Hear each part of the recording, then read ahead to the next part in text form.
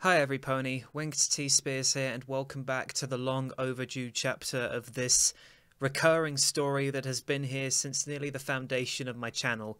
Now, probably 80% of you have already skipped to the start of the story, but for those that still remain, I want to take a little moment to just talk about a few things and make a few things clear because I realise that sometimes in my intros I'm not very specific or open when it comes to talking about certain subjects because I like to mainly keep things to the point. And that can be for a number of reasons. I can be in a rush, I can be so excited to get the story done, I just completely forget everything else.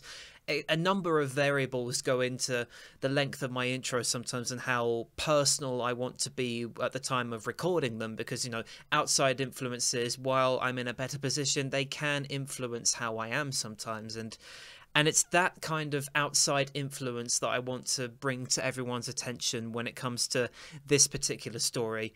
Now, this chapter has been out for quite a while now, and I would have gotten on it and done this a lot sooner had it not been for a few incidents that happened in my personal life and, of course, on YouTube itself. The incidents that happened in my personal life are obviously out of my control, and it's nobody's fault but the people who started them. I'm not going into any more detail, but for those in the comments this is this is particularly to those in the comments. Now i love it when all of you comment on my videos whether you're asking for new stories to be read directing me to new stories that have been uploaded that i want to check out and about three or four of them that i've checked out have been amazing and two of them are the most popular readings that i've ever done on my channel. I'm so grateful that you guys constantly trawl through FimFiction finding great stories and recommending them to the readers because half the time people spend a lot of time reading stories that have been done to death or that are just for popularity. But I'm glad that you guys find unique stories to put up. And that's kind of what I want to talk about because requesting stories is absolutely fine. Whether you want to request a, a, specific one through my Patreon or just putting it in the comments, I'm absolutely fine with that. I love input from you guys, but there's a point to where it becomes incessant and I'm sure some of you guys know exactly what I'm talking about when it comes to this particular story. I made a little uh, passing comment a few months ago about how I'd like to thank the 8,000 or so people that reminded me that a new chapter was up. I wasn't joking every time a new chapter to the story is uploaded, I am absolutely flooded with comments, requests, alerts, and no matter how many times I say them in replies to you guys, in my videos, or in the comments in general, every time a new chapter of Cuddling is the Best Remedy is uploaded and someone lets me know, I do tell them. I'm not sure if this is common knowledge or not, but I am in contact with the author. I know exactly what they're doing. I know when they're writing. I know when they finished it. I know when they're proofreading it. And I know when it's uploaded. I am more in the loop than most. And I'm not saying that as arrogance. I'm saying that I know that it's up. And I, and I thank you guys for bringing it to my attention. But I do know. And here's the other side of it requesting something once is fine.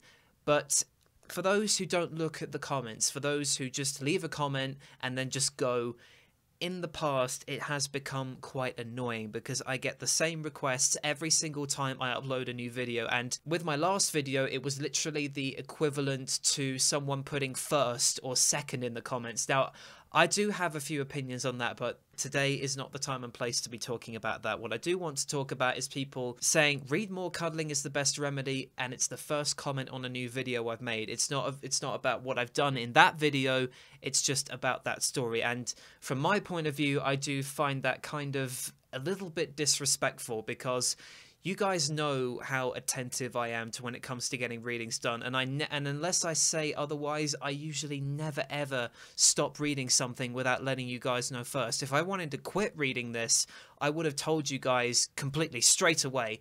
I keep nothing from you when it comes to the work I do, but I have to draw the line somewhere, and this is where I draw the line because requesting something incessantly over and over and over again, it doesn't speed up the process. It in fact slows it down exponentially so in a case like this because I'm flooded with comments all the time. And now some would say, "Oh, just get it get it up and get it done," but I lose my enthusiasm, and there have been occasions where I've read stories with no enthusiasm and they either don't do well or people know something's wrong And that is not what I want to bring across, particularly when it comes to stories as old as this one.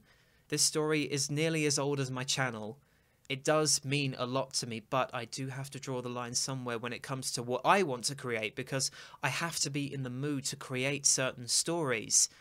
And if I'm not in that mindset, it's not going to be good. It's going to be either half baked, or I'm not going to be happy with it, or I may just scrap it entirely. And that's not what I want. I want to enjoy what I do. I'm going to end it there. And the moral of this is the definition of insanity is doing the same thing over and over and over again and expecting different results. And in this case, that's exactly what happened. Requesting something over and over again, whether you just want to let me know or you just want to help, I'm fine with that. But please take some time to look at the comments or look at what I might have said in one of my videos as to whether or not I'm aware that there's a new chapter. And remember, I am in contact with the author, so there's a high likelihood that I do know.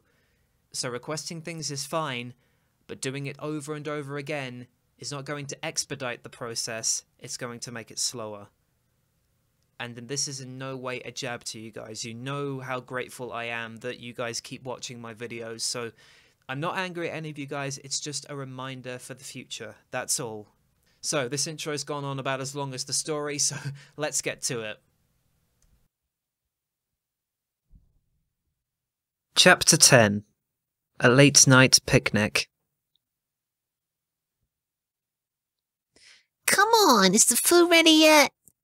Almost, Dash. You are currently in the kitchen, making the last of the sandwiches for your moonlight picnic out in Ponyville Park. You made simple daffodil and daisy sandwiches for Dash. You went a little overboard with yours. Your sandwiches are a little Greek, to say the least. Okay, are you done now? Rainbow asks impatiently. You chuckle and shake your head. Rainbow, in order to achieve perfection with a sandwich, you must take your time, treat it right. She gives you a blank stare. You're kidding, right? All you can do is laugh and ruffle her mane. She pouts and snorts. I'm almost done, Dash. Just give me a few more seconds. You grab the bread and slice it in half. You lay a layer of spinach evenly on the bread. Next, you lay pickled red onions in an even layer. You grab the mint and lay them down on top of the onions. The finishing touch, feta cheese. You top your sandwich off with the top of your bread and slice diagonally. You open up the sandwich and show Dash. This is what happens when you take your time. You point to the layers. She rolls her eyes but smiles.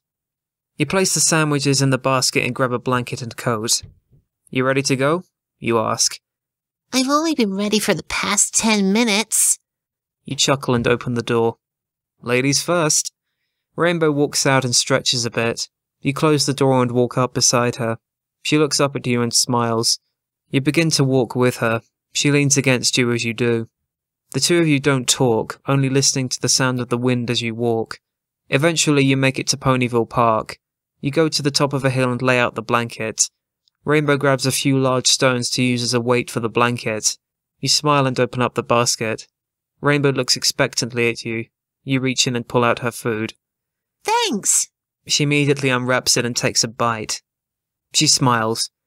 It's perfect. You smile and give her a hug. Rainbow leans into you, resting her head against your chest. You give her forehead a little kiss and break the hug. You reach into the basket and pull out your sandwich. You look at it and smile, admiring your work, the layers of the sandwich easily visible. Rainbow looks at you and quirks an eyebrow. Aren't you going to eat? I don't think I can. Uh, why? Because it's the most beautiful thing I have ever seen. It's almost hypnotizing. Rainbow's right eye twitches and a scowl crosses her face. Uh, what? You immediately burst out laughing. Rainbow looks at you with a frown. oh, you should have seen the look on your face. She gives your left arm a sharp punch. Ouch! That actually hurt. Well, that's what you get. Saying a sandwich is more than be- saying a sandwich is more beautiful than me? Come on. There's no way that's true. Of course it's not true. She giggles and smiles at you before putting down her sandwich and scooting closer to you. Rainbow wraps her hooves around your neck, pulling you into a tight embrace.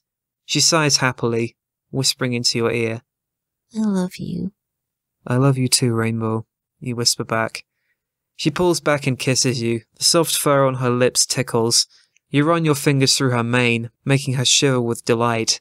She presses her lips more firmly against yours, deepening the kiss. She softly moans and her tail swishes. She breaks the kiss and blushes deeply. Rainbow, you are cut off by the mare tackling you onto your back. She looks down at you, giving you the most loving smile you have ever seen. You are completely entranced by this mare. As you look up at her, the moon shines brightly behind her, making her glow and appear almost like a goddess. Your mouth goes dry and you struggle to find the words to tell her how beautiful she is right now. Rainbow giggles and lays on top of you. She peppers your face with several kisses. So, how does that sandwich compare to me? It has nothing on you. She giggles and kisses you deeply. You press your lips back into hers. Her wings wrap around you. You are in heaven. The mare that you love is simply showering you with her affections. You break the kiss and smile. You are the most beautiful mare in Equestria. She blushes and smiles, before leaning her head down onto yours once more to give you a quick kiss. Hey, Rainbow? Yeah? Can I please eat my sandwich now? She giggles and shakes her head. Just hold me for a little while. Then you can eat your sandwich. You chuckle and wrap your arms around her. You pull her close and turn on your side. You kiss her forehead and let her snuggle right up to you. You look over at the basket and give a little chuckle. You weren't even that hungry. You were just doing this for Dash. Rainbow sighs and looks up at you. You know, you make me feel even more beautiful than the princesses. Rainbow says softly. I didn't know that. She kisses your cheek. Well, now you do. You chuckle and pull her even closer. I honestly think you are more beautiful than the princesses. Celestia doesn't even hold a candle to you. How about Princess Luna? Nope. Rainbow giggles and kisses your lips once more. You never get tired of that.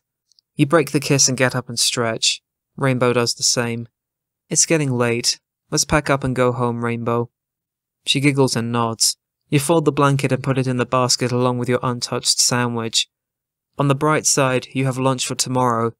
The walk home was spent in silence once again, the two of you just enjoying the other's presence. Having the most important mare in the world at your side is what you live for. You only live for Rainbow Dash. And there we have it, every pony. I hope you all enjoyed this as short as it was. I'm hoping this story does come to a climax soon. It's building up to something, but I don't know what yet. Let's hope we get that answer in the next chapter or so. Anyway, I'll see you next time, every pony.